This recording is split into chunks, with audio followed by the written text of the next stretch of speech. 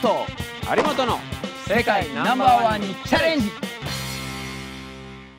このチャンネルは私佐藤正宏と有本直樹が ITF シニアランキングダブルス45歳以上で世界ランキング年間1位を獲得するためにフィジカルテクニックメンタルをとことん鍛えるためにさまざまなことにチャレンジするテニススポコンチャンネルになります。なんと6月にウマグのはい。クロアチアですね。クロアチアね。クロアチアのウマグの方でですね40歳以上というまああの本当は45歳以上も両方出てたんですけども40歳以上の大あの大会で優勝することができました。なんとそしたら、6月14日付で世界ランキング1位になりましたね、はい、夢の、えー目標の世界ランキング1位は、えー獲得することができました、えーしかしながらまだまだ世界選手権は優勝してないので僕たちは世界選手権を向けて、えー今頑張っているところであります。はい。えーこの、えー今の1位を、えーキープするためにもうんやっぱり世界選手権勝たなくちゃいけないですし、そうですよね。で世界にはもう本当に強豪ぞろい45歳以上は今回、えーイタリアの選手のダビデ選手やあとは、えードイツの、えミュラー選手ねミュラー選手もいるし、もう他にも本当たくさん、えー強い選手がいますのでこの選手たちに勝つ。また想定するということではもう日本で、えー今最高な、えー選手を今回呼んでいます。そうですね。もうこれに勝ったらもう世界取れんじゃないかっていうまあそれ以上の選手かもわかんないですよね本当に。ねなかなか普通では来てくれないような選手たちが僕たちのために今回世界ナンバーワンになるために、えー全日本、えー一般の、えー優勝をしている、えーこともある選手たちに、えー今日は来ていただいております、えー、と今年の全日本でもその2人が組むということなので、はい。えーぜひ今日は今から紹介したいと思います。こちらの2人です。どうぞ。どうぞ。ジョブジョブはい、こんにちは。はい、もう皆さんご存知だと思いますが、えーもうテニス界では、えーもうスーパーヒーロー片山翔選手、はい、そして江原弘康選手。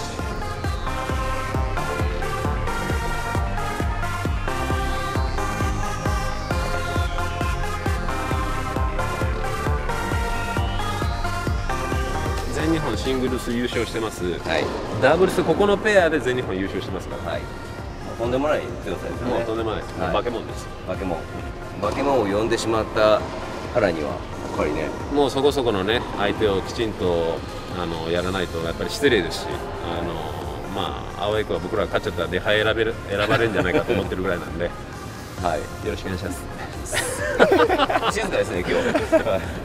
あの、えー翔選手も、えー原選手も、まあ、結構あのいつも一緒にいるんで。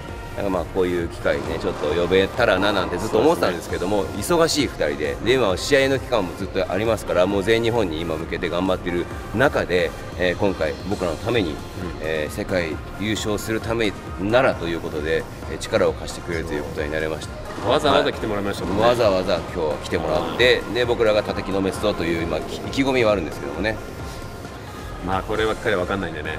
やってみましょう。頑張りましょう、もう。どう？今日の対戦にあたってなんか。いやもう全然余裕っすね。おいおいおい。出ました余裕発言、はい。これはまあまあそうかもわかんないですけど僕らは食らいついていきますんで頑疲れてるしでしょ？少し。いやまあちょっと疲れてますけどまあでもあの胸を借りるつもりであのうわ出ました。二人に胸を借りる。一人は上から。一人はもうドケンソン。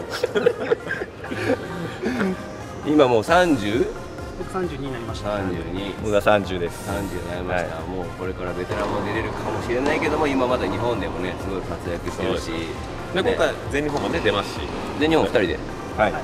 私もう公表していいの？いいの、まあ大丈夫です。はい。大丈夫。ではもう全日本優勝を目指して頑張る、はい。こちらは世界選手権を45歳以上で優勝して、優勝しに行くぞっていう感じで今。ね。はい、なかなかこうもう対戦することないですからね、普通では。普通では僕らがその全日本とか今一般で出ることがないんで、まあ、めったに。そうですね。だから全日本に出て本戦でもしかしたら当たるかもわかんないけどね。そこまでたどり着かないとダメですからまあ来てもらったっていう感じですよね、もうこの2人とできるであればもう思い切ってね本当やりたいんで。これ以上のチャレンジないですよ。なんかまあ後でちょっといろいろやってもらって後にアドバイスもねちょっともらおうかと思って。るんで、まずはちょっとガチンコで今日はもう真剣勝負でぜひよろしくお願いします。はい、えー今ですね試合が6-4、はい。えー相手の片相手山からね。相手から6円でしたね。はい、えーまあ、僕たちはファーストセットを取られてしまいましたがはい。んどうでした？なかなかやりますね。まあもちろん知ってたんですけどレベル的なことも対戦もしてますしもう懐が深いというかやっぱり何でも返ってくるからどうしてもこうちょっと力んだり余計なことしちゃいますよね。慌てるというかそこら辺をこう落ち着かして普通普段通りやりたいんだけどまあそれが課題かなっていう感じであの2セット目ね、はい。あのそれを修正できるかどうかをちょっとやってみたいですよね。試合でこうありますから、そうね。僕のサーブやっぱり力んでしまってもリターンが全ても返ってくるんでこのリターンに対して自分たちがこのサーブとか動きとかっていうのがねちょっとなかったりとかするところもあったのでここはちょっとセカンドセットに切り替えて、ねちょっと頑張りたいですよね、はい、ここまでのファーストセットの、えーとお互いの、えー状況をちょっといろいろと撮影してありますのでこちらの方を見ていただいた後に、えーセカンドセット始まります。ご覧ください。はい。セカチャレ。やっぱりあのやっぱり2人のプレーは結構緩急あるんで有本さんのやっぱりスピードのあるサーブと正弘さんのロブだったりこう浅いボールだったりっていうのに若干やっぱり翻弄されてる部分はあったので結構危ない部分もあったんですけど、まあ、最初にリードできてたんで、まあ、そこで若干の気持ち的な余裕はあったかなと思います。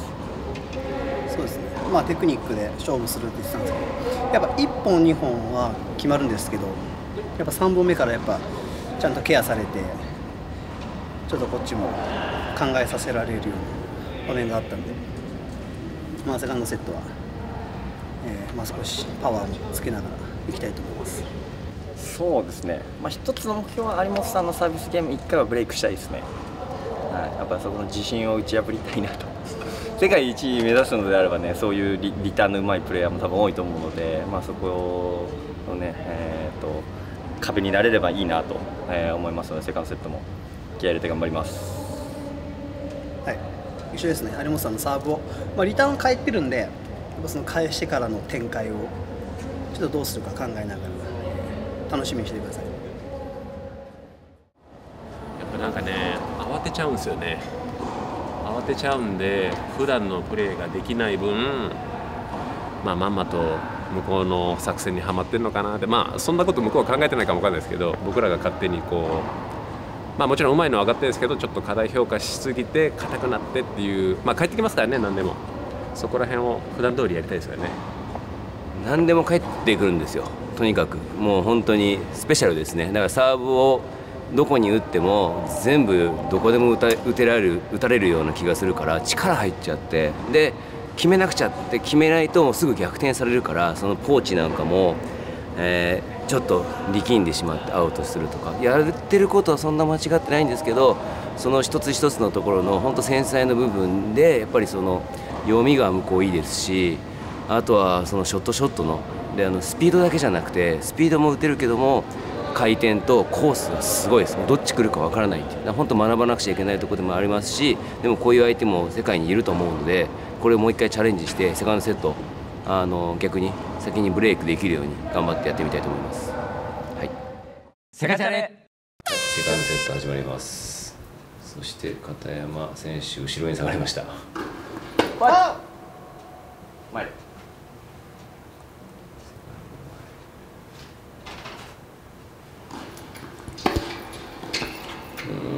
あれ、橋本。あれいいリターンだね。単位姉妹が動いてるしね。あれ、ボディですか？あれはね一応ボディなんですよ。回り込まれてたね。うん。次ね、今度時の方が、やつとしては。いいよね。沈めやすい。沈めやすいです、はいだから一回逆にワイドもワイドしたよね。マンですね。ね危ない危ない危ない、ボディか。ボディ来るか、やっぱ。なんかね結構二人に取られるイメージがあるんだよねリターン。をこっちにあげるよ。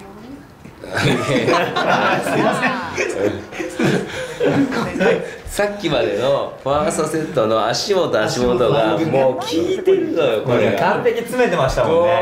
アングル防ぎに行ってたから。今何て言ったの？こっちにあげるよ。ああなるほどね。もう今のは。でもなんかねうまいこと隠れてたね、うん。ちょっと本当足元来そうな感じだった、ラブサーティーだもんね。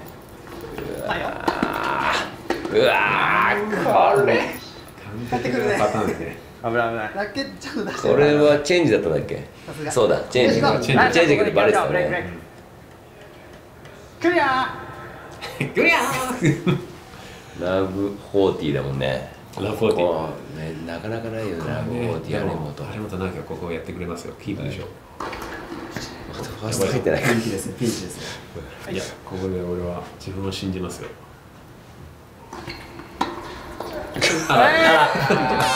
でもどう？ありですよ。あでも全然全然。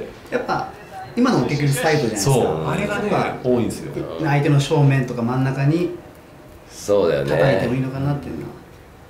あれがね書いてない。とあれのそうですね。ポーチだね。あの正相手の全員の正面か真ん中打つ練習をちょっとした方がいいかもわかんないですね。クロスは難しいと思うんですよ。あそこからスピードがあるし。まあ目標他立てる。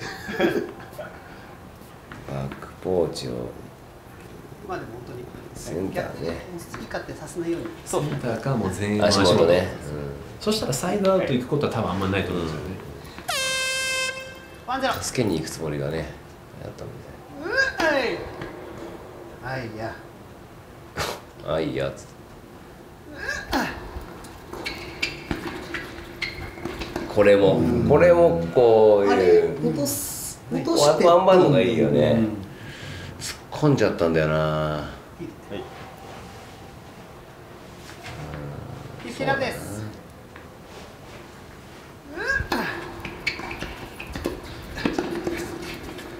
これやっちゃいました。ちょっと。どうしたんですか？いや一瞬ちょっとマサルさん言ったからあ行かないんかっていう 慌ての。あれ多分俺が行っても決まんない。でもう後ろで行けるかなっていうのはちょっと。いやあれ本当は絶対俺のボールなんですよ。ただマサルさんい行っちゃったかあ行かないんかっていう。ごめんあれって感じだった。はい。入って入って。あこのあれはねナイスカバー読まれてきたか全然でも出てないんだよな。出てくると思ってるのに。ちょっとこう振りでストレートっていうのもやったんだけど全然バレてたねサーティフィフティです。そういうとこもうまいよね。出てきそう出てこないとか逆にはい。ストレートに打たされてる感じですもんね。そうなんだよね。うまっ。おこれこれこ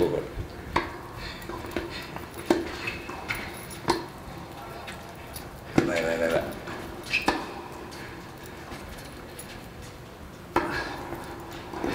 ゆゆゆゆゆあ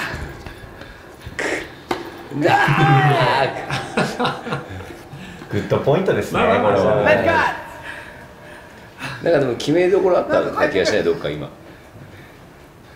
どういうことですか？どっか本当はどっかで誰かが決めなくちゃいけないとこ俺じゃない？決めどころなかった。今ちょっと気づかなかったですけど。まあまあいいポイントでしたよね、うん。そんなに40ですミスもなくみたいな感じだったようなはーいごめんなさいって感じだねナイス今今。いかなかったセンターセンターやっぱワイドに打たれた時ああなるんだな。あワイドで打たなくちゃいけないね。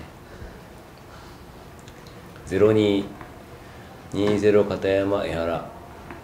チームですね。これピンチですよね、僕のの流れ的にも良くないですよねセカンドセットでそうなんですよ。まあ合ってきたよね片山うんそううんプロが。であのロブが効いてんだよ。うわー足元沈めてきて。あれ好きだねこの逆路こ好きですね。あれね取れそうで取れないんだよね。精神的にもちょっときついよね。ややられた感じがあるよね。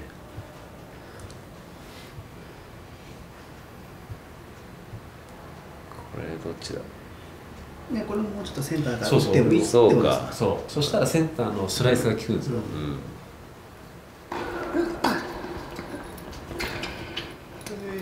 確確かに確かにでしょあれでワイドにキックがすごいあるんだったら多分あのポジションいいと思うんですけどスライスベースで行くんであればやっぱもしかしてセンター気味から打ってもいいのかなと思いますけどねもしくはステイバックするならね、はいはいいいと思うけど、うん前行くならもっと角度つけられてますもんねリターンからってことはサーバー両方ともちょっとセンター寄りから打った方がいいってことだね、でも特にセンターこのデューサイドをバックのあそこに入れたいんだったら、はい。ああいうリターンだこれでもサードあのボレー良かったんですよ今めっちゃボレー良かった。これ今のリプレイかえどっちでしたって？もうななるほど。今の今さその話多分しして少しセンターからサブったんだよ確か。あそうなの？これ直樹が言った後にちょっとセンターからやった方がいいんじゃないですかって言って少し寄りじゃない？うん。最初よりも。それでも。なるほど。もっと寄ってもいい？もっと俺が言った方がいいもっと寄ってこっちはね寄ってない。こっちは全然寄るつもりなかった。シングルスラインとセンターマークの真ん中ぐらいからうん。打っていいかもしれないですね。ですよねだから正木さんのためは多分ワイドにいいのを打ちたいがためにこっちにしてると思うんだけどそうそうそうそセンターをベースにした方がいいかも。なるほどね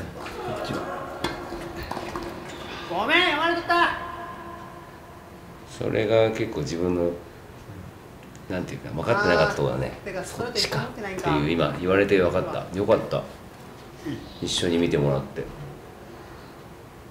これだって二人で話したから絶対分かんない今日今言ってくれてよかったのがそこ。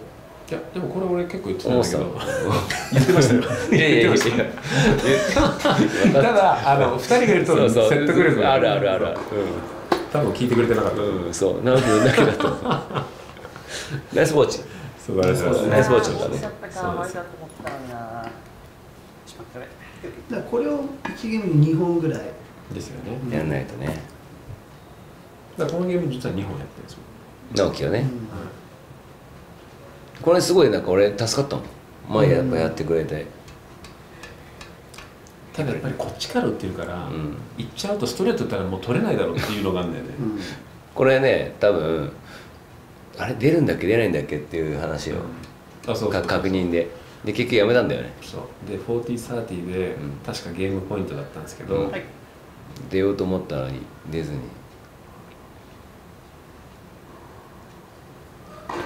でしかもファースト入んない。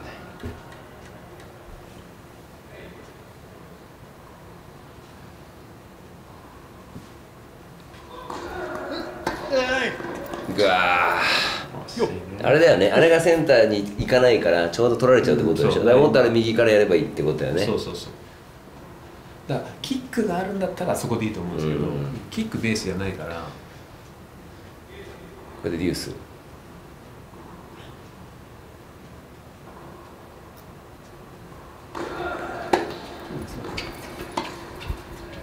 かーこれ取れると思ったのに。ちょっとライン乗った感じはありましたね滑った感じが。あそうか。俺もなんかねちょっとあれ？取れてるんじゃないかなと思ったんだけど。取るつもり取るつもりでほら逃げちゃった。あれだからか。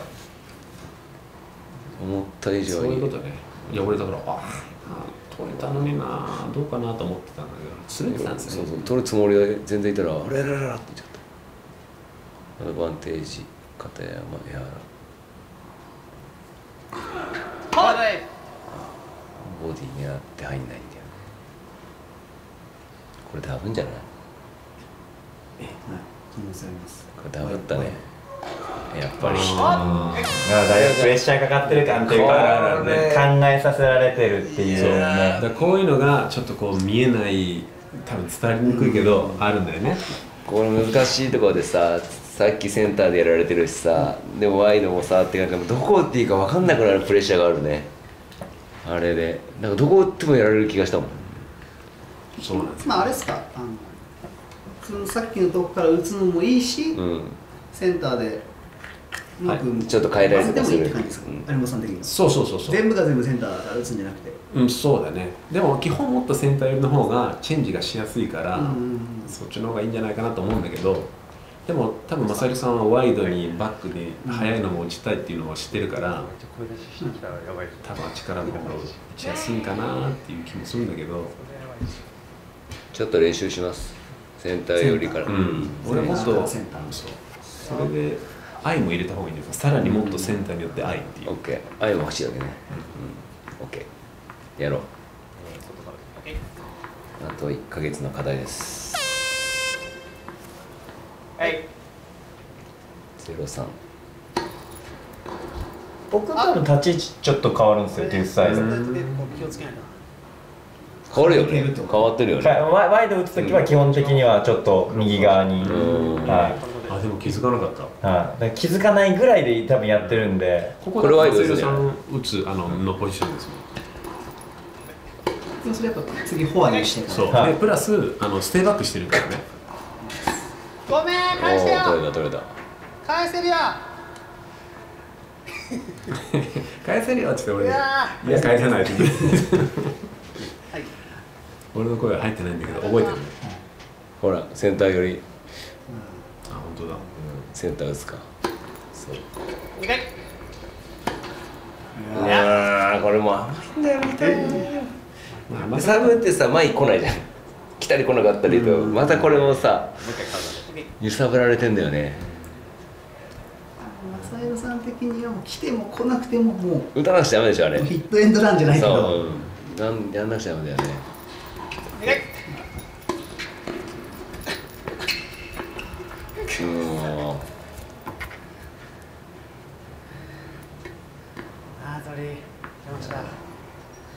ここで今サーティオール、さておちょっとセンター寄りだね。うん、真ん中にセンター打つのか？あれ？ボディ。ボディ。あれもだから作戦俺多分俺多分センターに来ると見て思ってるんだろうね。寄ってるからきっと。はい勝手に。でフォアで。そうだからあれも作戦かもわかんない。そうだわ。そそういうことか。センター寄っといてセンターに打たせると思わせてフォアに打つことによって今みたいにガシャリを誘うことができるもんね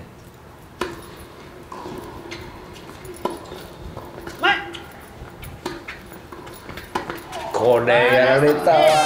触らされてなんかそうちょうどあの時間にうまくでちょうど来るんだよね。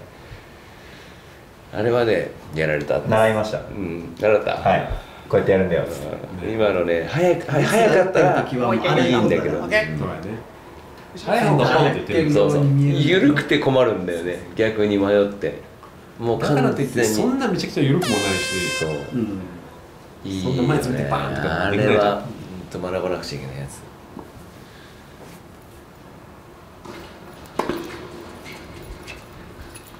あげたよ。すいませんみたいよ。あげ。あれ俺らも言わないとね。俺もやろう。やりてえ意識してないですよマイク全いや然全然全然全然いいあれあれいつもやってるじゃないよ。試合中に。全然ああいうふうにやってるところをみんなに見てもらいたいよね、ああいうあげたよーっていうのねいや俺全然いいと夫思う、うんいいでしょ。ちゃんと心の声をいつも出しながらやってるねプレー中にね。ダダ漏れです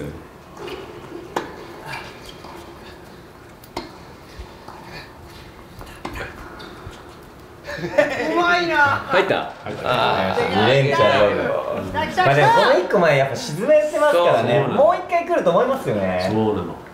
で結構深いからさローブもそんないいの来ないだろうと思ってたんだけど。うまいことやられたねこれ。いやロブ2本。これラブサーティあれいくつなんだろう？ラブサーティですよ。うん俺にはできない。俺にはできない。お前お恥ずかしい目が出たねいやあんないいの2本見たらね僕嫌じゃないですでか。もさすがに来ると思うよねあれしかもラブサーティーだし。大事こだわり大事よ。はいがこだわり大事よ。15サーティ声だけあーよくないですね。全然あそこがちょっとねやっぱりダメだったな。うまいこと沈める危なかったねこれ。これで一回センター俺も寄ったんだけどうまいこといかないんでああやって浮いちゃうのがね怖いんだよね。あれ取った時。にしかもアウトサイドのワイドあのフォルトするときほぼネットっすもんねネットネット。なんかロングが今日なかったっ多すね分なかったと思う。ワイドと。か本当ネットだった。たイメージや多分ちょっと低いね見てたら。うん。でもあげあげかサーティオール？うん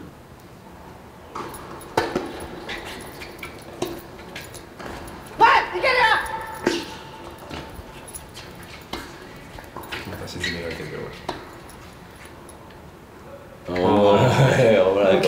ってましたもんね。まあちょっとでさすがロブ来るかなと思ってんだろうなあれは。下がってたもんね。もう一回足元よく耐えたな。もう一回足元はいでしたしはいこう若いでも嫌だよね、あれあれだよ。こう見られてるって感じだよね、うん足元どっちだ？みたいな、レッドせっかくネット越したらネットにフォーティーサーティー？4030フォーティーサーティー。だねフォーティーサーティですー、うんファーストからワイドキックもありですねあれあれあれあれうわうわこれね今思い出した。これチェンジだったの、俺らは、うん。全然チェンジできない。ででもあれねボディだったの。ボディにチェンジだったんだけどなんか知らないけどセンター入ってたじゃん。うん。多分俺変えたと思う。か変えたのにちょっと危な。かった味方魂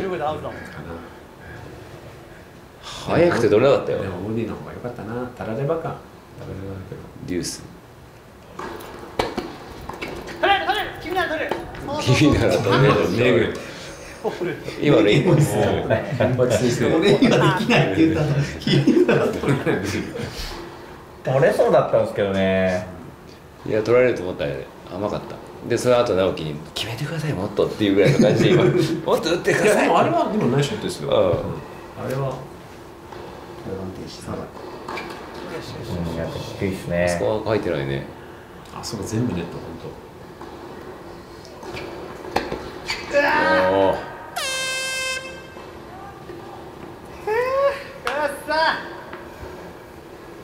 これで？41ですね。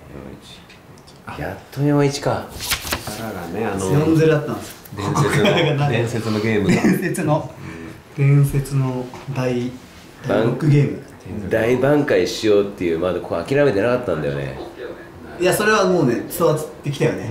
これはもう本当取りに来てるな手強いね。完全にもう差つけられちゃってると余裕が出てきちゃうときついですね。やりたい方やっぱもうここ一個ね本当は先に取んなくちゃいけないところ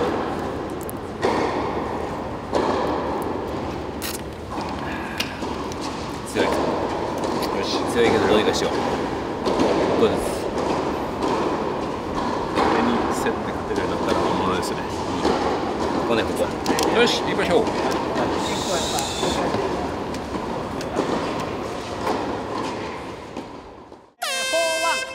はい。うんあ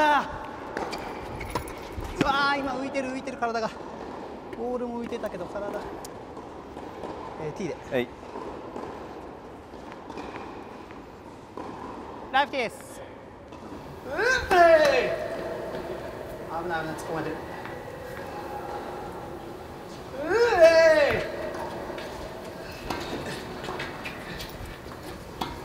だからカーンってるおおこれは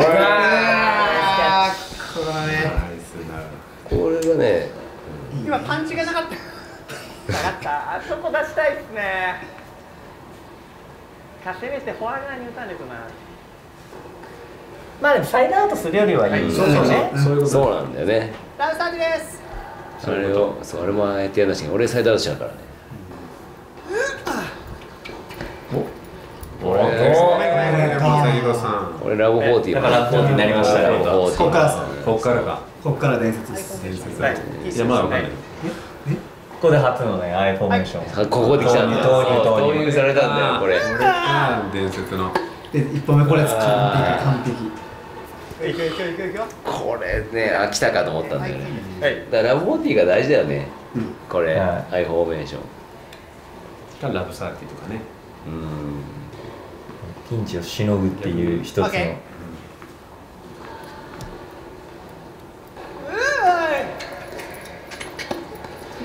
う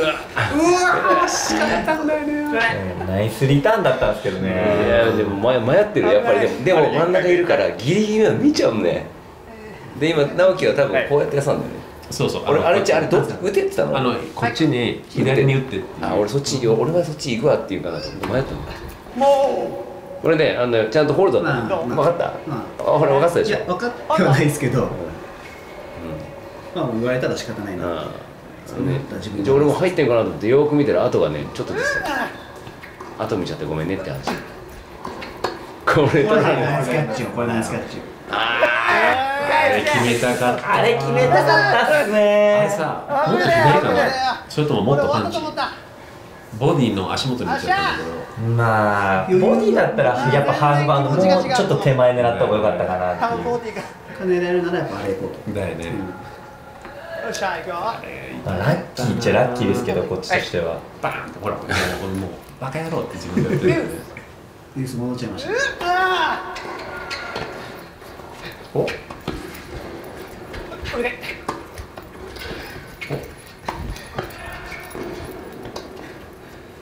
何してもうしまだブレイクポイントですよさよし。これ取ったら大きいよ。ん。っていうのも言ってると思う、ハイフォーメーションで体。はい。ここ取りましょう。で体でどっちに動くのはい。あで安が今サイン出したんですよああなるほどね。うわこれチャンスだよ。チャンスですよこれ。これチャンスだね。これもビッグブレイクスの。ね多分そうでしょいやいやあれあれ俺？まあ誰が悪い？今のはしょうがないしょうがない。しょうがないと思う流れ的にこうこうこうかなと思ったら真ん中だった。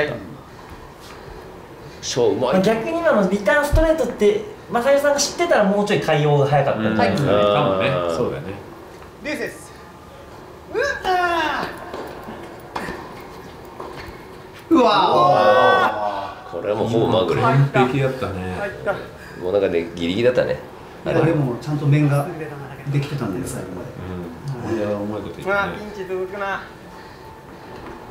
さあここですよ。ここですよ。ここですよ。直樹さん腕見してくださいよ。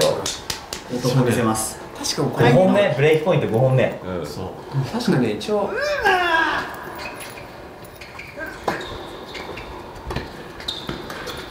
ああこれか。あよし。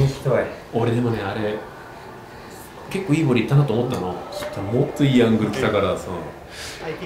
読んでましああれだってですよね。ポイント中にあれだもんね。ゲームポイントであれできるんだから。はい。すごいよ。あおい。いぞおオッケ6本目だよ。微妙なとこあったね。微妙。でしたね。ね。ちょっとぼっちかなと思ったんですけど。ちょっとね上ちょっとね遅かったんだよ。回転がガシャッとかかってガシャっちゃったんだよねあれ。多分はい。触ってもらった感じだった。このゲーム6回目6本本目目ですよ。これはいきますよね。うん。さすがに。でもねあのこれどうだ？一応全部お互いにリターン返ってんのよ。しかも菅野さん。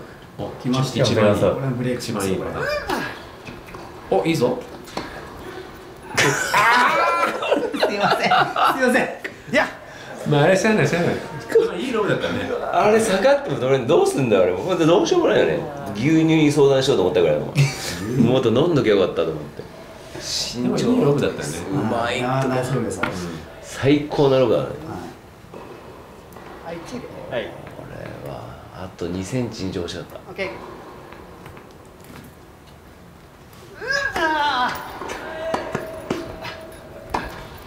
うわー。これも。これも良かったなはい外はいこれでこれがキープポイントアドバンテージ。片山。やっと1本目。はい。俺らはい。あラブフォーティーからのやっと1本目ですここまで頑張ったよねでもね。頑張りましたね。6本しのいでますからねと取れると思うとさ。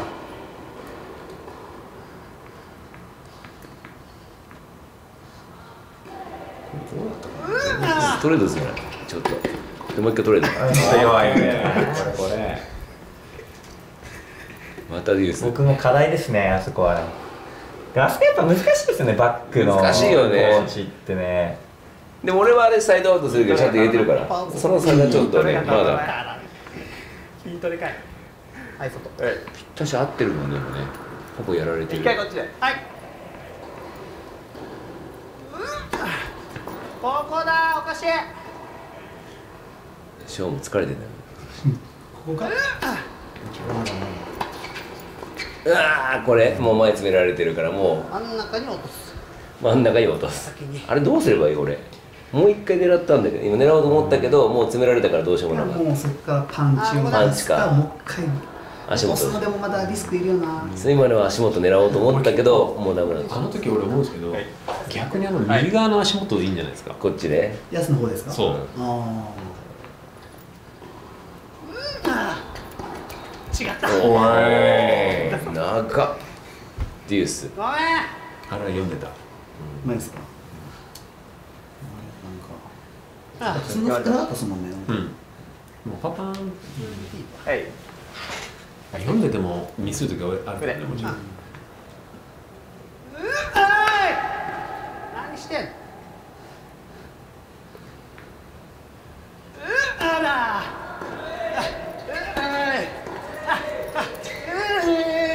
あもう飛び込みたかったあれ。もうジャンピングボレーしようと思ったぐらいもううわ取れるか。な結構もうギリギリある。いやもうピンポイントで。あれはどうしようもないよね。いいアングルの足元ですよスピンで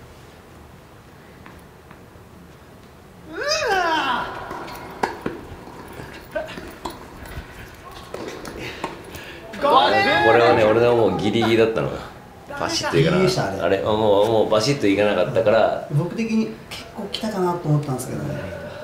伸びてやっと取ったぐらい。今でもナイスキャッチですよね、うん。もういけないけど。よしここから行きましょう。サケットえー、普通にそこだから俺何気に全部リターン入れてんのここ。そうトライで入ってるよね、うん。本当チャンスだったボンミスないんだよだから、うん。本当に。全部やられてるのあー危ない危ない。危ない。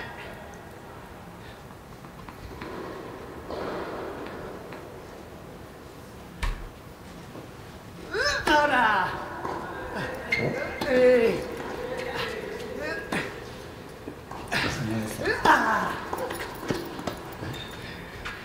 おおまた来たよポイント。来た来た来た。俺思い出しましたこのポイント。あそう。いいとこあれです。8回目？フリーブレイクポイント。8回目だよブレイクポイント8回もう来ますよね。それはあの多分これ多分リプレイしてほしいかもわかんない、俺の思ってるやつだったら。そんないいプレーが、いやいいプレーまあまあいいプレーっていうかねまあ見てみましょう。あそれ俺じゃないかよ。俺か俺か。お思い出したくもないじゃん。今のはもっと前またやっちゃったじゃんって話じゃん助けに行ったんだよでも。うん。わかる？外行っちゃったからもうしょうがないか今らもう本当ドンピシャでしたよた合ってたのに決まんんないっていうね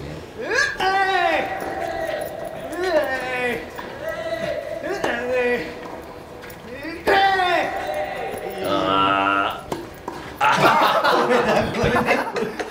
これこれもう一回もう一回見ても大丈夫です今すげえボールまあまあん結果的には。もう一回ちょっと見てみましょう。えマセルさんはその選択的に詰めたってことですもんね。そうそうそう、あもうもう当たりに行ったもんね。そして後ろから当たりられただから松田さんセンターをカバーしたんですよ。で俺もセンターを読んでて。これ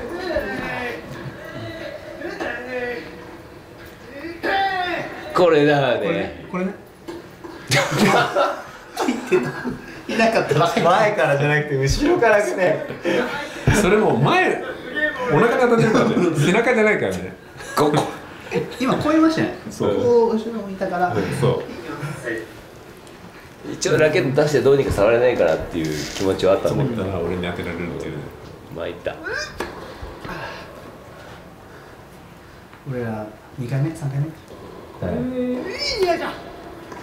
これも。はほら。全部入ってるい入ってますね。でしょ？だからポイントの時にあれ決まってたら最高だよそう。ね結構これもっと対応してんじゃないですか。このバックに来た時のストレートね。ああれちょいちょいやってるよ。でもももっとやっと。もっともっとやった方がいいと思いますでそれを正弘さんに言っといてもらえればもう決め打ちってことでしょ？決め打ちでもあれ直樹の嫌だよね。あんな前でストレート打たれたら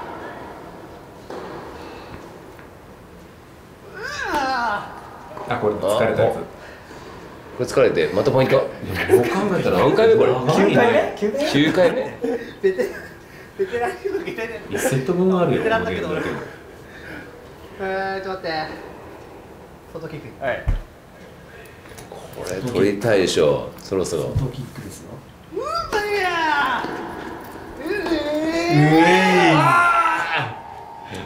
ほら今ラインギアでしょ今いやでもこれぐらい違うですよ。あちょっと内側でしたうん。これだけやるんだったらダブルだよな。サイドアウトのオチだったんですね。そうそうそう。なんかちょっとかしゃかなっちょっとたよう。なこういうサイド回転でこう落ち曲がっていったんでうん、もっと曲がるかなと思ったら落ちちゃったっていう。俺ロングのオチだと思ったんですよ。い。やサイドサイドサイド。じゃあこれで。それはねえだろうみたいな。あ見てこの片山プロの立ち位置。来たよとうとうでボディいやよう届いたね。俺結構いいのぶったかなって勝手に思ってたんで。フィジカルが勝っちゃいましたね。今アイフォーメーションやられてどうにかしのいだのにねだよ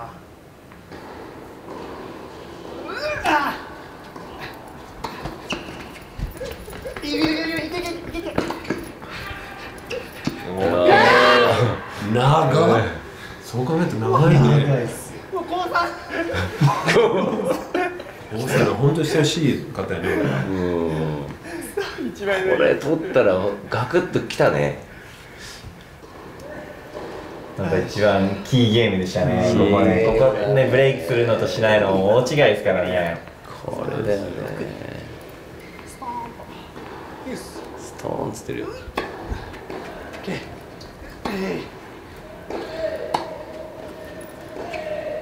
これね深くやるド深くこれねナイス振り回し振り回されたわなんで俺後ろにいたんだろう今。えし前に行ったんじゃない前にですか？行こうとしたんですよ。じゃなくてそのリターンを前に行かなかった。リターンダッシュ全然しなかったよサーブが良かったのかななんだろうはいよいしょな。んかあったねサーブ良かったですそれなりに良かったと思います。多分そうですよねああこうい！うことでこれでマジ10回ぐらい！やりました長かったね疲れた1キロ痩せた。26ポイントやってる。すごいね。こんなあんまないよねこれは、このゲームだけで1回でやらせとかじゃないですからね。こかこのゲームだけで1本いきますね。本気で取りたかったゲームだけで一本いきチーム勝利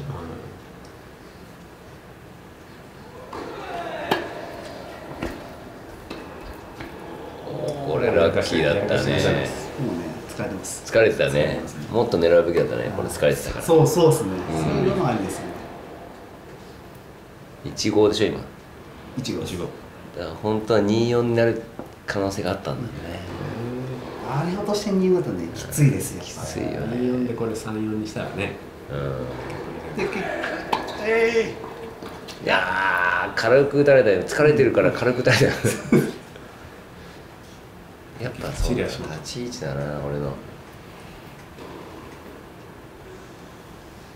あとこっからだとチェンジ厳しくないですか？そうだね。と俺は思うんですよね、まあ、チェンジしないならいいんだけどもしくはステイバック。オーケうん。ーちょっと振り遅れ気味。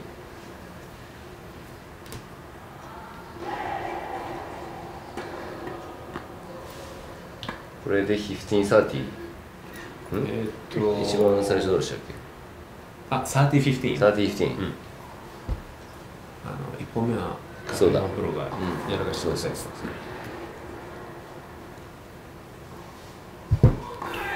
あ今のいいサーブ。ナイス。あれですよ正弘さん。ちょっと緩めのやつね。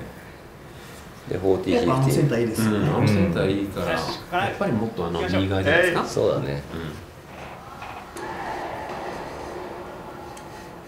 そういうことか。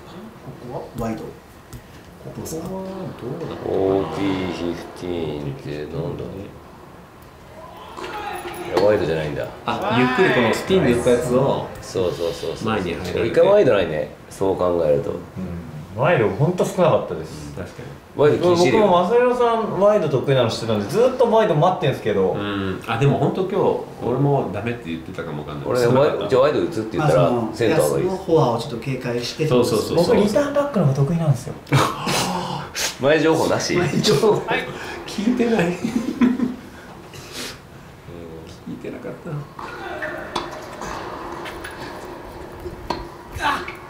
なるほど。今のあれですね。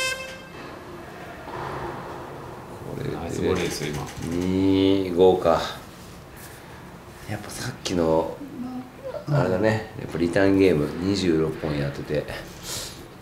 あと僕ボレーももっと、まあ有馬さんも有馬さんもっとパンチを出していけたら俺らパンチないんですよ。なんかファーストボレーが結構リターンいいからパーンっていくんですけど、で次落とされたボールに対してちょっとポワーンって軽くなりすぎてるのかな。うんうんうんってそこもちょっとガツンとそうそう。まあ足なのか。よく言ってるよねその話ね。パンチだよね足。本当だよ。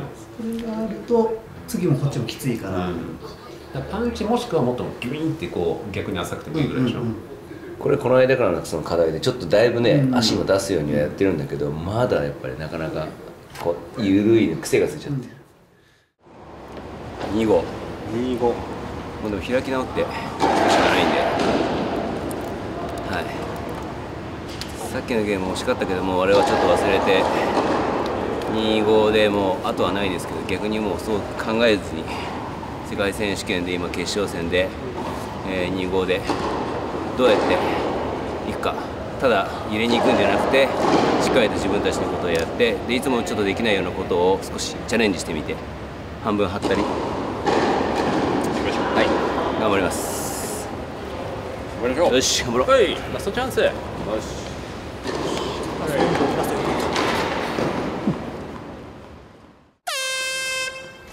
52でワイドから来たよ。やっぱ逆疲れてるね。今の。ナイス遅いサーブ。でもあれセンターに見えるんだよね。少し。サザエさんそういう。ふうに打たなくちゃディスってるのか褒めてるのかわあねあれはちょっと取れんかったなもう。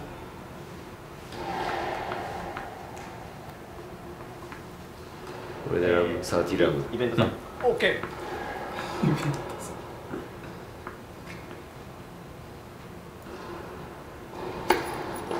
これ打ってきたね珍しく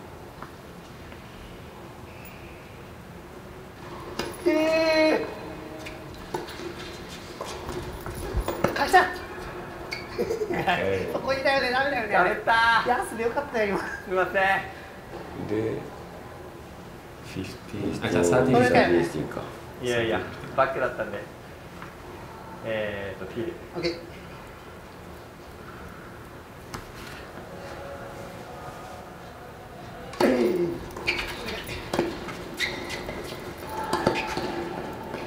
難しいか今のとこは。ネットミスして。くれたサーティオール。えー、るはいオッケー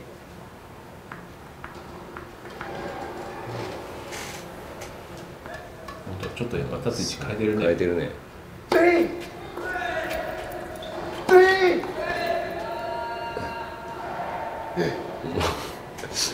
しゃ あそこのパンチがないな。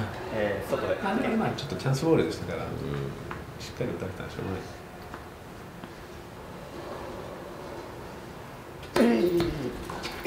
ああもう完全に動かない。えいって最後にふっと割って。よっしゃ。終わりましたね。2562はい。えー、ファーストセットが46セカンドセットが26 26 2だったっけ26で、まあ、3セットやらせていただきました。乾杯ですね。いやちょっと勝ってたかもわからない。あーどうでした？いきなり振りますけど。いやーめちゃくちゃ面白かったです。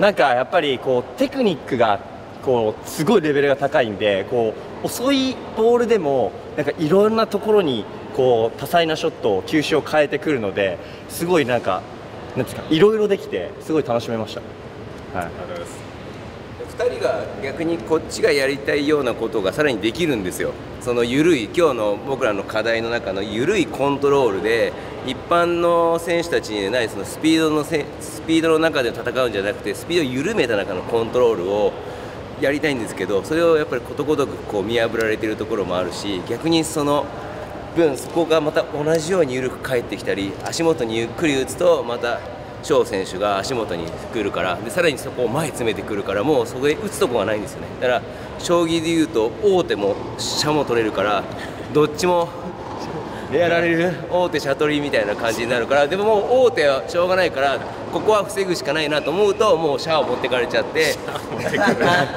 ダメージをこうすごく昭和どんどんどん。どんの人しか分かんないかも分からない将棋わかる。ねやる人は分かる。なんかまあそういうどっちももういいどっちもでもここ取られちゃと取られてしまうと負けだしっていうようななんかそういう雰囲気がいつもあって。そうですね。でやっぱサーブを自分たちのサーブをブレイクあキープしなくちゃいけないんですけどもやっぱその一個一個がなんですかね質が高いんで全部返ってくるんですよ。どんなにいいサーブ打っても必ずリターンが返ってくるんでもう練習になりましたね。そうですね。やっぱ帰ってくるからねもっといいところもっと速いところってちょっと意識せずもう自然と力入っちゃうんで余計ファーストサーブ入らないからやっぱり懐が深いですよね。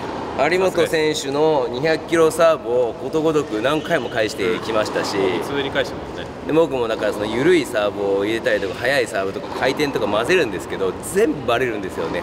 たまーにあちょっとずれてよかったなっていうのはあったんですけどやっぱりこれはもう海外でいた時にこう穴だもんね優勝するためには何が必要ですか？まあ、やっぱ有本さんのサーブの時にこと正治さんが前で動いてもよかったのかなってなりますね。フェイクっていうふうに言われてるんだけどあー。速くてフェイクしてるんだけど多分見えてないのかなってどのどのタイミングでフェイクすればいいかがちょっとわからないところが正直あって。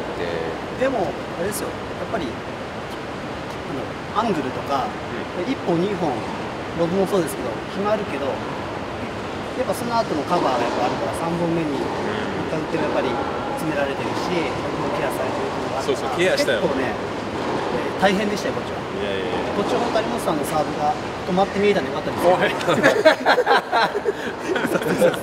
そうですファーストが入らない時はね、結構やっぱセカンドはしっかり沈められてね。まああれがやっぱり。意外とセカンドの方がちょっと打ちづらかった、ねそれもあるよね。ファーストからその回転系の使っても全然いいのかなって。そうだよね。それもあるよね。じゃないと本当に止まって見えちゃうんで。セカンドサーブ系のをファーストサーブで入れて動きを入れる。ちょっと入れてもいいのかな、だね。多分そのサーブの時に正代さんが動くっていうのも動きやすいんじゃないかな。俺俺のサーブの時どうすればいいいいと思う？あどアイフォーメーションどう思う？のサーブですか？俺の中で。ありだと思います。今ね迷ってんのアイフォーメーションしたいんだけどあんまやってないからねまだしっくりきてないんだよね。今日久々に受けて思ったのが正代さんのサーブ低いからやっぱ打ちづらいですよ。うん。角度つけれない。なかなか。センター際に入ったやつとか。いや角度つけてたよ。え？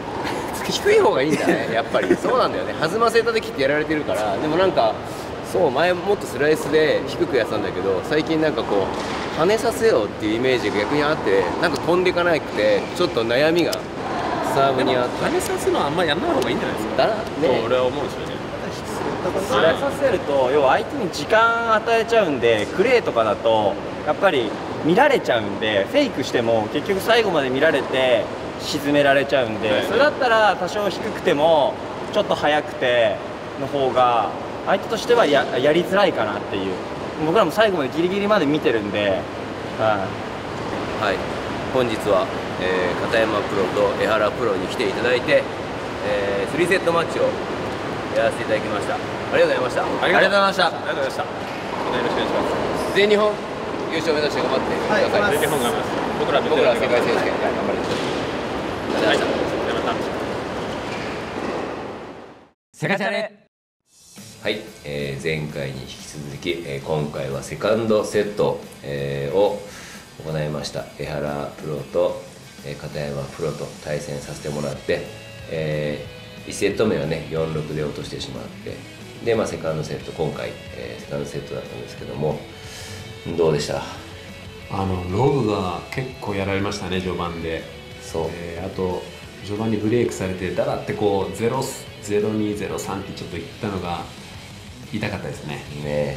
う結構あの前回の、まあ、2セット目で結構足元足元ね、こうやられてることがあったのであれがやっぱり効いてましたね、セカンドセットはもうロブをうまく抜かれてしまって自分たちのこう立ち位置を崩されるっていうことが結構あってそうすることによって、まあ、守らなくちゃいけないところがだいぶ広くなってしまって、まあ自分たちのこうパターンとペースがなかなか取れなくて0-4スタートになってしまって、でまあ1-4で2-4になるデュースデュースで9回ブレイクポイントがね、あったけども。あれ長かったですね。長かった。あのゲーはね。ム結構こう見てて面白いなと思ったし、うん。チャンスもあったしまあ取れなかったの痛かったですねあれ。ね。うん。まあ、あの勝ちに行くっていう言いながらもねやっぱりなかなかもう2人がすごい強いっていうのが今回よく分かって、まあ、ぜひ2人には全日本をね優勝していただいて僕たちは今回の、えー出てきたいろんなところ課題が随分出ましたのでこれをあと1ヶ月間、えー練習をして、えー世界選手権に向けて頑張りたいと思います。はい。はい、えー ITF シニアランキング年間1位獲得に向けてテニスの試合だけではなくさまざまなことにチャレンジしていきます。佐藤有本の世界ナンバーワンにチャレンジ、えーセカチャレをこれからもぜひよろしくお願いします。ぜひチャンネル登録もよろしくお願いします。ご覧いただきありがとうございました